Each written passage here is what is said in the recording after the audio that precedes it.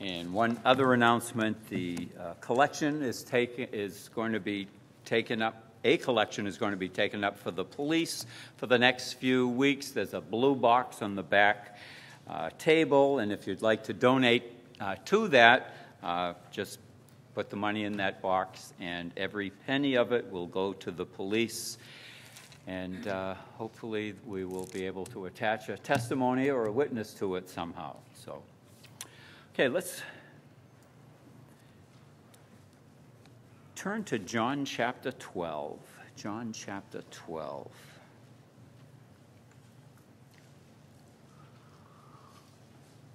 We want to begin reading in verse 37. But though he had done so many miracles before them, yet they believed not on him.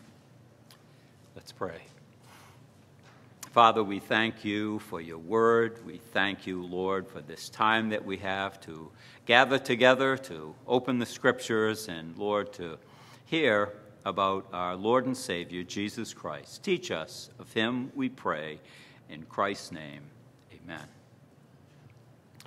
So, before we look at our passage in John 12, we're going to have a little review of our the past five sessions uh, in the Gospels. And I'm just going to give a, a very, very short review. And the purpose of this review is to put these final words of John in this chapter in a, in a context. Now, we've been looking at uh, the chronological order of the life and ministry of Jesus Christ.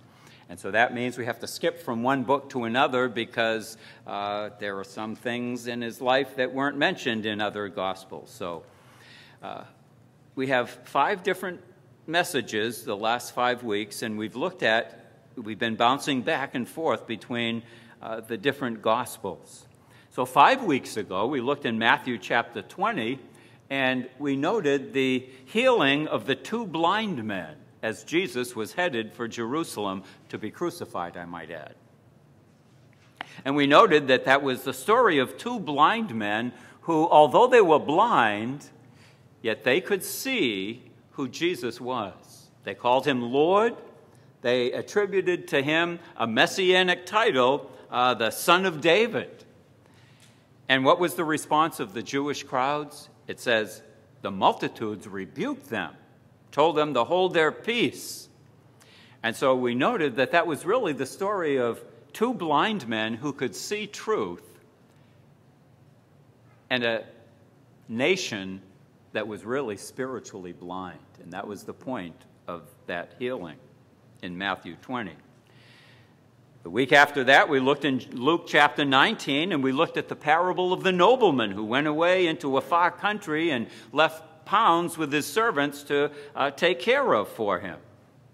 And we noted how in this parable it spoke about, it was really a parable about the Lord Jesus, that he was going to leave this world through death, he was going to be with his Father, but he was going to come again, and his servants would have to give an account to him. And we noted also in that parable, it said in verse 14 in that section, that his citizens hated him. Now, this is an indictment against Israel. Then we noted in Matthew chapter 21, a couple of weeks ago. And here we have the triumphant, or so called triumphant entry of Christ into Jerusalem. And he entered in with loud applause, and, and they were putting their garments so the, the donkey could walk on them. It was a way of showing uh, respect. But the Lord Jesus knew that all of those words were very shallow and meaningless because that very same crowd would soon be chanting, Let him be crucified.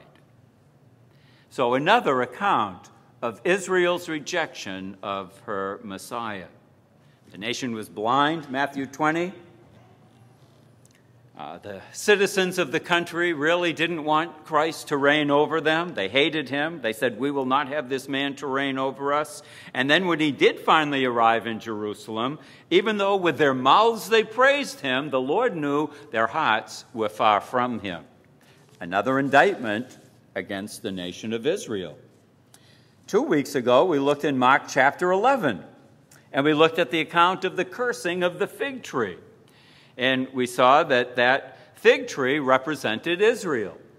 And when the Lord Jesus was coming back from Bethany into Jerusalem after the uh, so called triumphant entry, the next day he came back into the city and saw a fig tree. It was covered with nice green, lush leaves, and he was expecting to find fruit, but when he got there, it was barren. There was no fruit. And the Lord Jesus cursed that tree, and it withered up right before the eyes of the disciples. And that indicated again God's judgment upon that generation of Jews for their hypocrisy and their lack of fruit. Another indictment against the nation of Israel. And this is all taking place in the same time frame. Last week we looked at certain Greeks, Gentiles who desired to meet with Jesus. And again, this put Israel in a very bad light because at the same time frame, Israel had the light of the world right in their midst for three and a half years, and they were not interested in coming to the light. And yet, here we see at the end of the Lord's ministry, there were Gentiles, there were these certain men, these Greeks, not Hellenistic Jews, but real Greeks, and they came they had a little light and they wanted more. They were hungry for the truth. They were seeking after light and more light. And so they came to Jerusalem, and that was their habit. They kept coming for those feast days. They saw something that rang true, or they heard something that rang true in Judaism, and now they knew Jesus was there and they wanted to meet with him.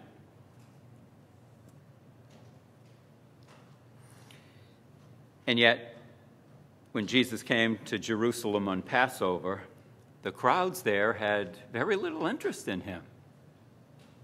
The Gentiles were more interested in the Jewish Messiah than the Jews, another indictment against the nation of Israel. So, all of these things were taking place, all of these lessons that the Lord was teaching, and, and we find them scattered in the different Gospels, but they all happened around the same time frame when Christ came to Jerusalem around the time of Passover to become the Passover lamb for the sins of the world. So in Matthew, Mark, Luke, and John, we have all different accounts of indications of Israel's rejection of her Messiah. So now we begin in John chapter 12, and we have John's explanation John's commentary of all of these different events, why Israel rejected her Messiah. And he begins by telling us, his readers, how irrational it really was for Israel not to receive Christ. It says in verse 37, John 12, 37, but though he had done so many miracles before them, just stop and think of how many miracles. Sometimes we say, well, the feeding of the 5,000, that was a miracle. That was 5,000 miracles. 5,000 people were fed. They went home to 5,000 different families and told them what happened that day. And they told their cousins and others. And we read also in several occasions where it said, uh, the Lord was healing, and the multitudes were healed. All the sick and the multitudes were healed. So there were thousands, not just what we read in the Gospels, there were some of those miracles included thousands of people. And John tells us at the end that the miracles in the Gospels are not a complete documentation of all the miracles that Jesus did. You'd need a, the libraries of the world couldn't hold all those books. So John is going to give his personal but inspired commentary on Israel's unbelief. And isn't that the purpose of John's gospel? He wants, he wrote the book so unbelievers would become believers in Christ. He says at the end in John 20, but these are written that ye might believe that Jesus is the Christ, the Son of God, and that believing ye might have life through his name. So that's why he wrote this book, so believe, unbelievers might believe. Now, in John 12, John is letting his readers know that the nation of Israel didn't believe. Even though Christ did so many miracles, yet they still didn't believe. And just think of how the Gospel of John began. It began with by John exposing the unbelief of his own of God's own people. He came unto his own, and his own received him not. But as many as received him, like these Greeks that came seeking Jesus, as many as received him, to them gave he power to become the sons of God. Israel's unbelief is really hard to explain in light of all the advantages that they had all throughout her history. It seems irrational in light of the preaching ministry of Christ and the 12 and the 70 that had been preaching for uh, over three years, all up and down throughout this small piece of real estate. And now John is going to give us an inspired commentary on why Israel finds herself in unbelief. And he lets us know that it was predicted in the Old Testament. Look in John 12 and verse 38 that the saying of Isaiah the prophet might be fulfilled. So John is going to quote here from the prophet Isaiah, from Isaiah 53. Now we're all familiar with that chapter. It's the chapter of Jehovah's servant, who is the Messiah king. And look what John writes Lord, who hath believed our report? And to whom hath the arm of the Lord been revealed? So here, John is quoting from Isaiah 53, a chapter that speaks about the Messiah, but begins by warning his readers of Israel's unbelief. Isaiah predicts that the Jews, even though Messiah comes to his own, they will not receive him. And Isaiah gives his report of the Messiah. That's really what Isaiah 53 is. It's a report of the many important uh, phases in the life and ministry of the Messiah King, whom we know to be Jesus Christ. And Isaiah gives his report by asking two questions. And often that's how Jews try to make statements by asking a question so you'll think of the answer. And the second question was, to whom, of the, uh, to whom was the arm of the Lord revealed? Now, Isaiah know, knows the answer to that question. This revelation came to Israel. Isaiah was a prophet sent to the Jews. So, who got the revelation from heaven? Israel did. They had much light. This revelation of the Messiah was given first and foremost to the Jews first. That's who it came to. And then the first question was and who hath believed our report? And this answer, uh, this question, is asked in such a way that a negative answer is expected. Who hath believed our report? Not many. That's the implication here. Not many in Israel believed on Christ. And so John's explaining why it is that when Christ came into Jerusalem, not many believed. They had a lot of revelation, but there were few believers in Israel. After the whole three and a half years of Christ's ministry, compared to the number of Jews in the nation at the time, there were very few believers. In spite of the fact that God sent them his son, the greatest revelation of who God is the world has ever seen. They had the light of the world in their midst. They witnessed many, many miracles. They heard countless sermons. They had every advantage imaginable throughout their history, yet the report was given of the Messiah, and they didn't believe the report. And that was consistent with Israel's history. God's Jesus said later, I sent you prophets and wise men and scribes, and some of them you shall kill and crucify, some you shall, you shall scourge in your synagogues and per- persecute from city to city. That was kind of Israel's history. Their history can be characterized by unbelief. And then look in verses 39 and 40. John goes on to say, Therefore, they could not believe because Isaiah said again, He hath blinded their eyes and hardened their heart, that they should not see with their eyes, nor understand with their heart, and be converted, and I should heal them. Now, here uh, John is quoting from the prophet Isaiah again. Only he's not quoting in Isaiah 53, now he's quoting in Isaiah chapter 6. And he quotes a passage that has caused an awful lot of consternation to believers because of the tendency that we have to look at a passage all by itself and rip it out of its context. Isaiah says in that particular verse that John is quoting that the Jews could not believe. And why? Because God blinded them and God hardened their hearts so that they couldn't see and they couldn't understand and they couldn't be converted. And now, is that true? That, that's what Isaiah said. And of course, we believe every word of Scripture. And it's quite a pronouncement. God smote them with spiritual blindness, and he hardened their hearts so that they wouldn't be able to believe.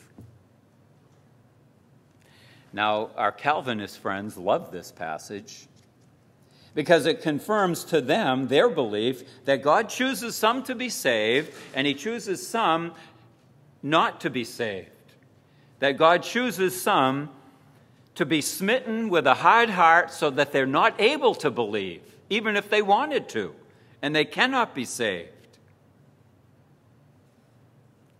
But the Calvinists seem to ignore in verse 39 the word therefore. It's an important connective here. Therefore, John said in verse 38 that the Lord sent out a report. He sent out revelation about his son, the Messiah. And then he asked the question who believed it? And the implied answer was, not too many. Therefore, John now quotes Isaiah 6. Therefore, God blinded their eyes so that they were not able to see. And because they rejected their Messiah, the light of the world, they were not able to understand. God gave Israel advantages and revelation and spiritual privileges that no other nation had. They had more light, more truth, more revelation than any nation on earth. They had more opportunity to believe. And what did they choose? They rejected the light of the world. And they weren't able to see. And that's because when you turn the light out, you cannot see. And look what Jesus says in verse 40 He hath blinded their eyes, God. He hath hardened their heart, that they should not see with their eyes or understand with their heart and be converted, and I should heal them. And that sounds frightening to me if this verse were taken all by itself. Now look in John chapter 12 and verse 35. Right before this, John said, Then Jesus saith unto them, A little while is the light with you. Now, who's the light? He's, he's the light. He's the light of the world. And he said this as he enters into Jerusalem, knowing that it's Passover week, he's going to be crucified. So he says, The light of the world is only going to be with you a little while. And then he says, Walk while you have the light, lest darkness come upon you. They were warned. When you have the light, you can see and understand and walk. Once the light is gone, you're in, plunged into darkness. And that was the warning Jesus gave in verse 35. He says, Walk while ye have light, lest darkness come upon you, for he that walketh in darkness knoweth not whither he goeth. While you have light, what does he say to do? Believe on the light. That you might be children of light. Did they have an opportunity to believe on the light? They certainly did. He said to believe on the light while they had the light right in their midst, because it was going to be much more difficult to believe on the light when the light goes out. It's hard to see in the dark. The light came to, Jesus, to the nation of Israel he pleaded with them for three and a half, he was with them for 33 years. He pleaded with them for the last three and a half years of his life, traveling up and down all around the country, performing miracles, pleading with Israel to repent. The light of the world was right standing in standing right in their midst, and Israel's response was no thank you. They made their choice. They had an opportunity to believe. And when the light was gone, and by the way, why was the light gone? Because Israel chose to crucify their Messiah. That also was their choice. They said, Let him be crucified. Their attitude was, We will not have this man to reign over us. So they chose to crucify their Messiah they chose to snuff out the light, and no wonder they couldn't see spiritually. They lost their spiritual understanding. And so they choose to snuff out the light, and as a result, God blinded them in the sense that there are consequences to turning the light off. If you turn the light off, you're going to be in darkness. You won't be able to see. Christ came to offer them light, and they didn't want the light. They snuffed out the light. And so, in what sense did God smite them with blindness? God built in to light and darkness consequences. While you have light, you can make a, a, good decision. Make it now, he was saying. While you have the opportunity, believe on the light while you're thinking about it, while it's on your mind and on your heart, while I'm right in your midst, because the time is coming when the light will be snuffed out and you won't be thinking about it anymore. And as a result, you won't be able to believe. Now, nobody can blame God for not giving them opportunity. They had the opportunity to believe, and they squandered it. And then notice in verse 41 these things said Isaiah. Now, by the way, who is John writing about through this whole section? The Messiah, Jesus Christ. He's the light of the world, He's the one that was speaking. And he says in verse 37 He's the one that performed many miracles, and they didn't believe them. So the He here is the Lord Jesus Christ.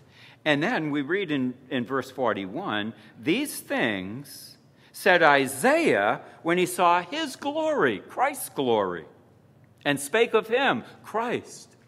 Now, in Isaiah, whose glory did Isaiah see? He says, I saw the Lord, Jehovah, all caps, Jehovah God. He was high and lifted up, and I saw his glory, or a glimpse of it. John interprets that passage and applies it to Jesus Christ. John says Isaiah saw the glory of the Son of God. And Isaiah wrote about the Son of God, the Messiah, in Isaiah 53. So Israel sinned against great light. And that's why John wrote the Gospel of John. So that men might know that Jesus is the Christ, the Messiah, and the Son of God. And that's why John wanted. That's why John wrote. He wanted unbelievers to believe on Christ and be saved. And so he's giving us this explanation. At this point in the ministry of Christ, his earthly ministry is over, his public ministry is over, in this right here. And John wants his readers, now he's written this after the fact, but he wants his readers, Jew or Gentile, to understand and not to make the same mistake that Israel made.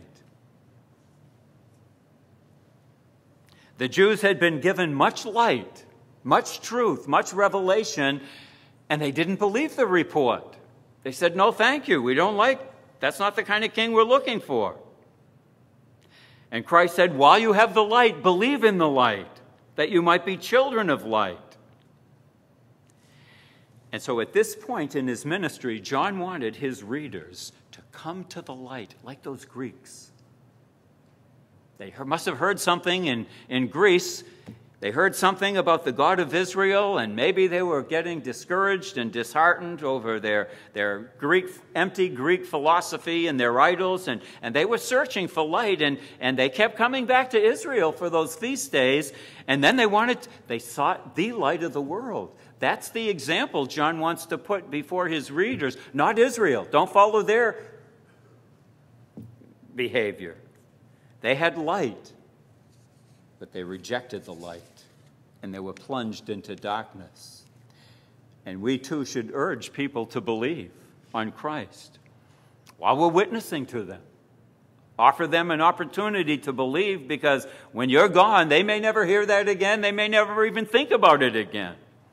But while it's on their mind, while it's on their heart, and the Holy Spirit is working, they have opportunity to respond to that light. But when the light is dimmed, it's much harder to see and understand and believe. Now, look in verse 42.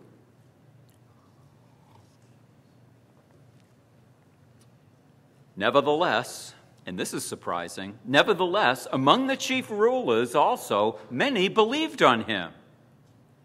But because of the Pharisees, they did not confess him, lest they should be put out of the synagogue for they love the praise of men more than the praise of God. Now, the majority of the religious leaders rejected Christ, they rejected the light. But here, John tells us there was a good number, many of them, not perhaps the, the majority, but there was a good number of the religious leaders who were impressed by what Jesus said. And some of those chief rulers, many of them, believed on him.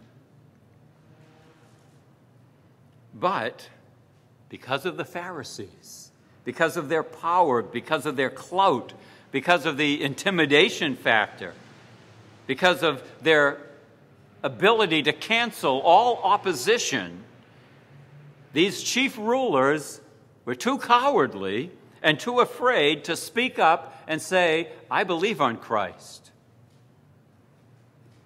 And John even tells us why.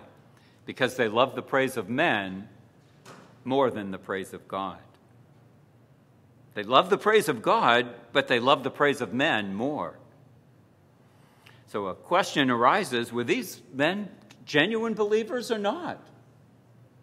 I don't know. The text doesn't give us enough information to know whether their faith was saving faith or not.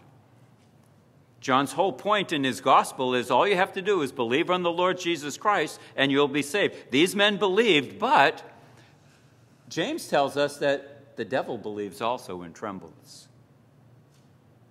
Now, our Lordship salvation folks, they, they are sure that these men were not afraid because,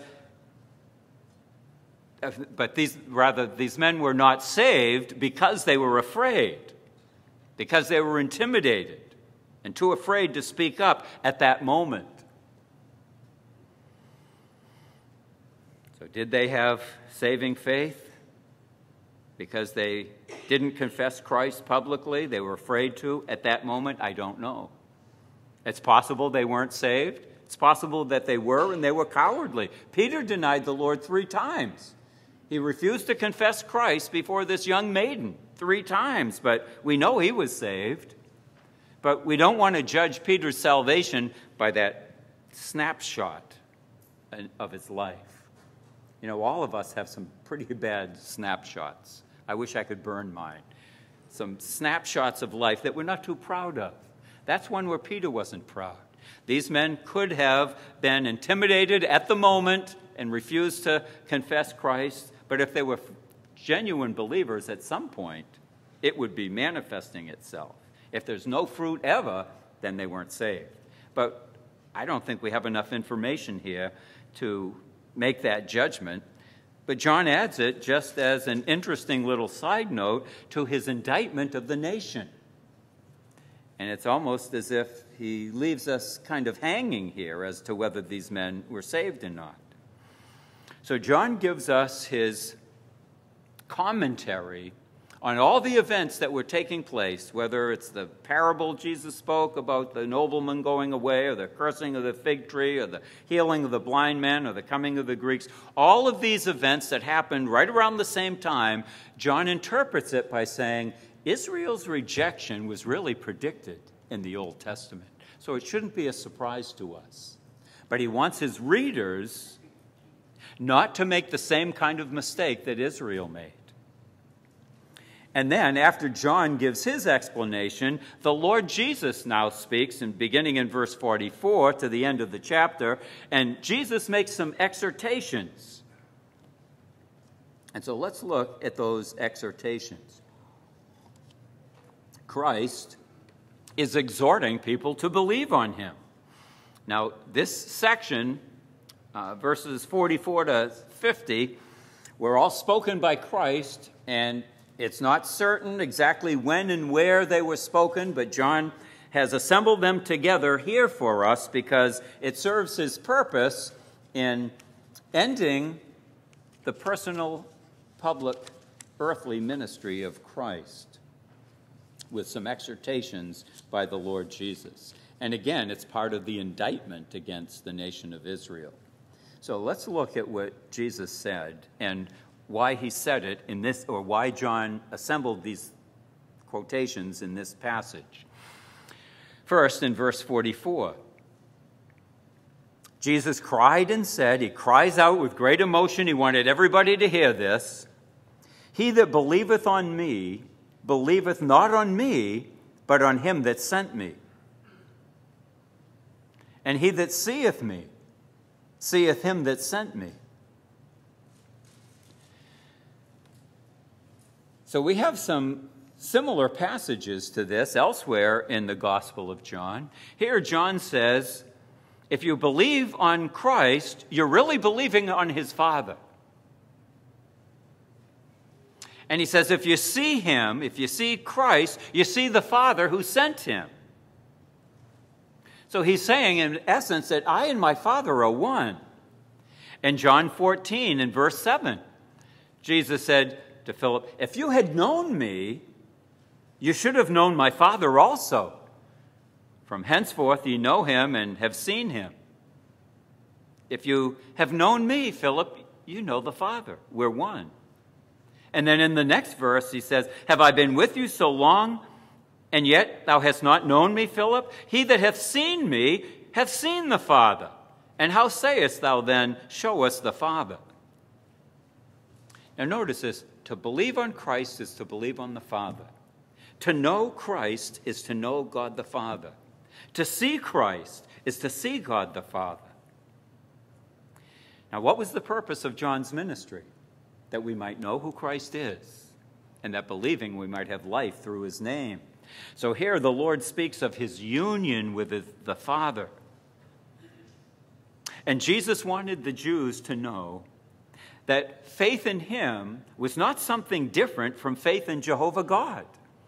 And you can understand why, have, if you were brought up in that culture and that in religious environment, uh, there's only one God. All the other pagan God, pagan nations they have many gods, but we are monotheists. There's only one God, and Jehovah God, the Father, is our God. And Jesus now claims to be God. It sounds to them like, are you saying there are two gods? Our faith is to be in you and in God the Father. And Jesus is saying, no. His point was, I and my Father are one. And if you put your faith in me, that is putting faith in Jehovah God. We are not separate deities. And so there are not two objects of faith. To be saved, we don't put our faith in God and then put our faith in Jesus. We're told to put our faith in Jesus Christ. And that is the same as believing on God the Father. So there are not two objects of faith, but one.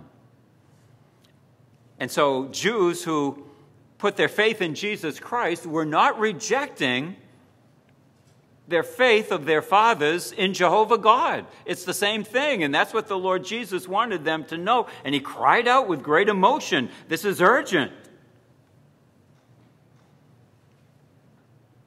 So through Christ, the world can know God the Father. Then Jesus says in verse 46 I am come a light into the world, that whosoever believeth in me should not abide in darkness. Here, Jesus is the light that came into the world, and whosoever believes in the light should no longer live in darkness. In other words, if a person comes to the light and gets saved, that means your lifestyle is going to change. You can't live in the darkness and say, I'm a Christian and this is okay. It's not okay. If we come to the light, then we're to walk in the light. We're to live in the light. Salvation delivers us out of darkness and into the light. Salvation changes a lifestyle. And Jesus said in John chapter 8, I am the light of the world. He that followeth me shall not walk in darkness, but shall have the light of life. And as Paul wrote to the Colossians, God hath delivered us from the power of darkness and hath translated us into the kingdom of his dear Son. Just like positionally we've been raised into the heavenly places, not physically, but positionally, that's our home. We have also been translated into the kingdom, though we're not there yet, but it's our position. We are uh, citizens. And so faith in Jesus Christ means salvation is as good as done. If we come to the light, we are coming to the truth. So just think Jesus has just revealed that if you put your faith in me, it's really putting faith in God. If you know me, you're knowing God. And if you know me, you know light and truth. Jesus said, I am the light, I am the truth. And light represents truth and understanding. And so those that follow after the light, like the Greeks, God will give them more light until they're able to believe on Christ and be saved. So here are two different ways. Through Christ, we can know the Father and believe in the Father. Through Christ, we can know the truth and we can know the light. Now, thirdly, he says in verse 47 And if any man hear my words and believe not, I judge him not, for I came not to judge the world, but to save the world. Jesus did not come to judge the world at his first coming. And spiritually, it's because the world's already been judged, the world's already condemned. But the purpose of Jesus coming into the world the first time was not to come as a judge, but to come as a Savior. He was born to die for the sins of the world, to be the Savior of the world. And he said in John 3 17, God sent not his Son into the world to condemn the world, but that the world through him might be saved. Now, at this point in Christ's ministry, it was obvious that the nation of Israel had rejected him.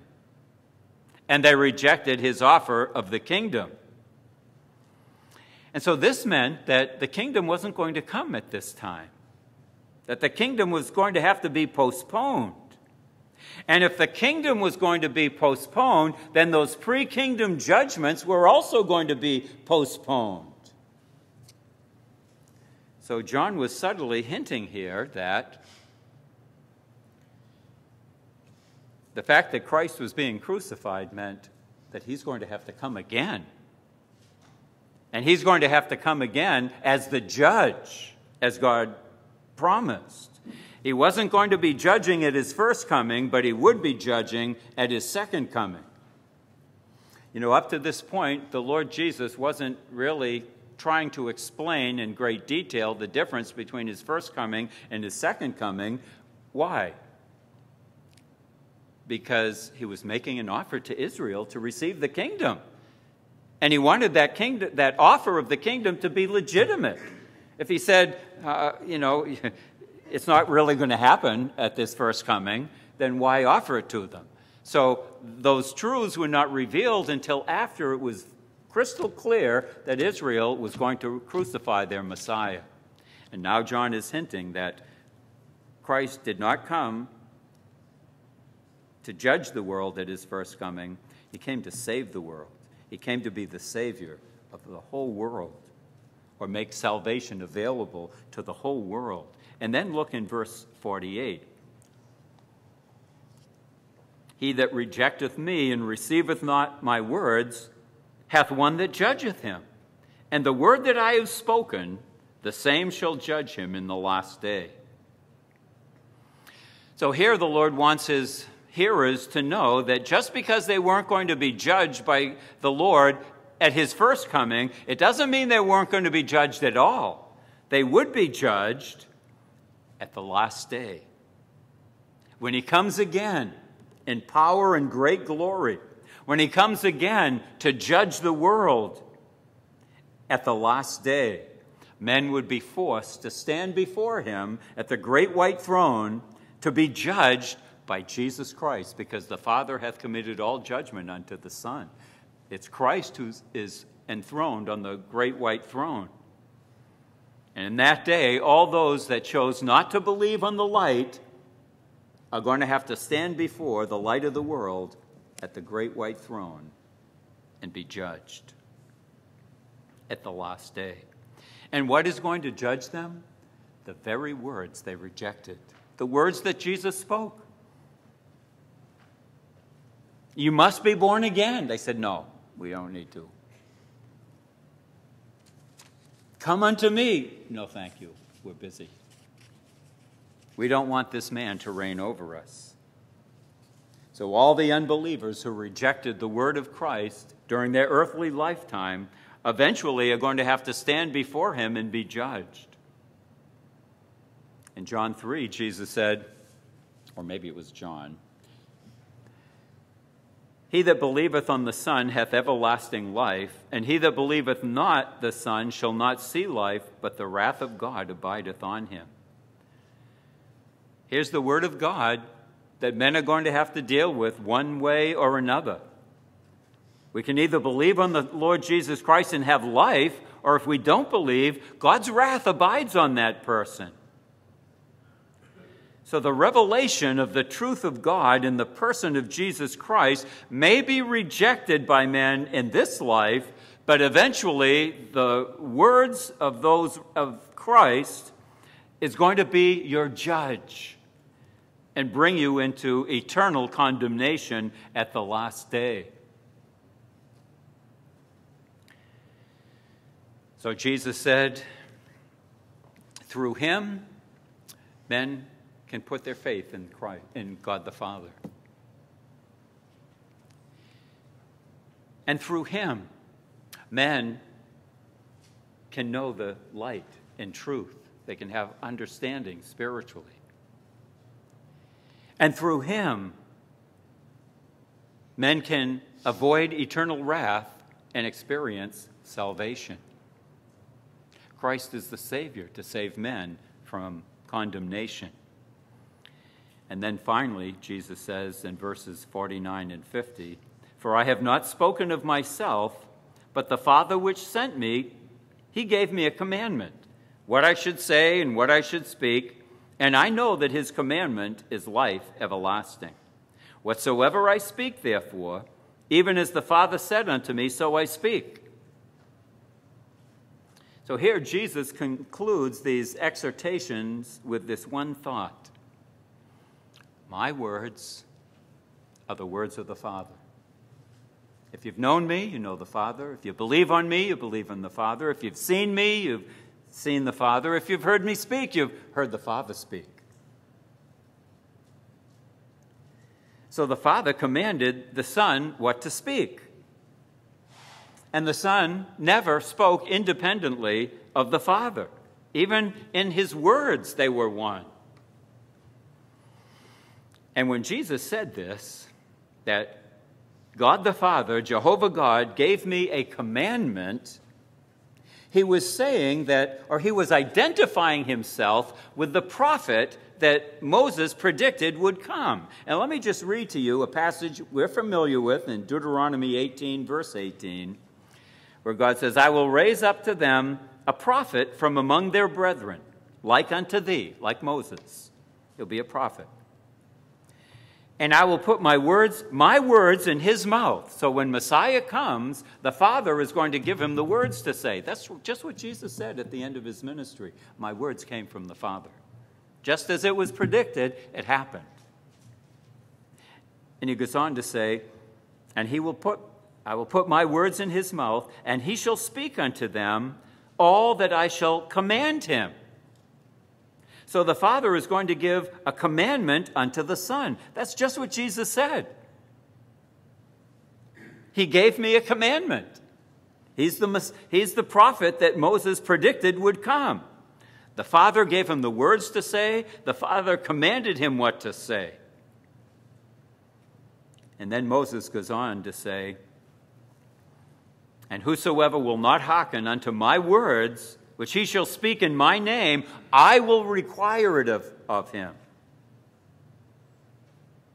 So the Father was predicted that he would give com- a command to the Son, he would give the words to the Son, and the Son was to speak them, and that's what Jesus did in Israel. And then God said, if anybody doesn't listen to my word, if they don't pay attention, and by the way, when, when the Father spoke of his Son, he says, Here is my beloved Son, hear ye him. Listen when he speaks. I gave him a commandment. And those who don't, God says, I will deal with them. It says, I will require it of them, of him. It means I will bring legal justice to those who don't hear and don't obey the command of the Son. And so there's only one command in the gospel, and that is believe on the Lord Jesus Christ, and thou shalt be saved. And it's mentioned hundreds of times in the Gospel of John this concept of believing.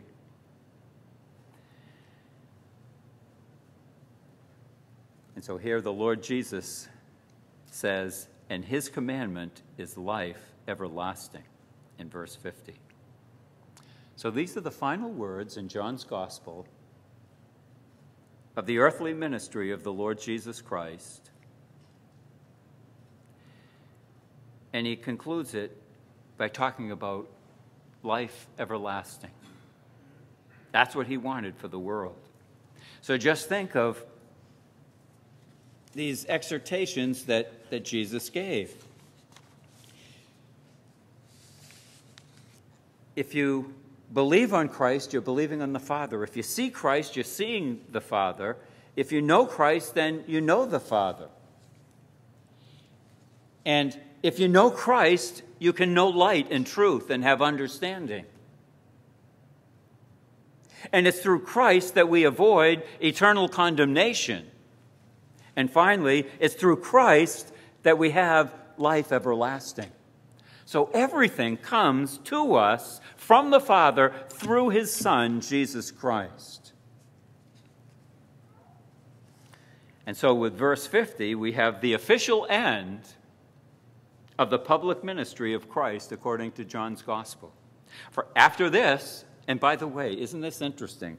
Chapter 12, we have the first, chapter 12 of John, from 1 to 12, we have the first 33 and a half years of his life. From chapter 12 all the way to chapter 20, we have the last week of his life. So most of the material in the Gospels deals with one week of Jesus' life from this point on. His earthly ministry has finished, and now he's going to bring his disciples their upper room discourse and other end time discourses that he's going to be teaching uh, his disciples and getting them ready for what's coming. And sometimes they're referred to as the farewell discourses. So there's a lot of material, a lot of teaching from the Lord Jesus. But Israel has decided he's in Jerusalem and he's going to be crucified this week. Not this week, this week in the Bible, you know what I mean. He's done with his people, and he must have been brokenhearted. He knew it was coming. As he looked out over Jerusalem, he wept. He says, If you only knew this time, and they should have known.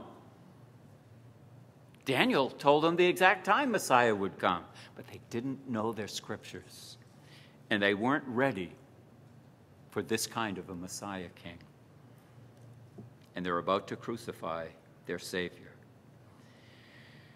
And so now we're going to see the Lord is going to prepare his disciples for future events, his coming again in power and great glory.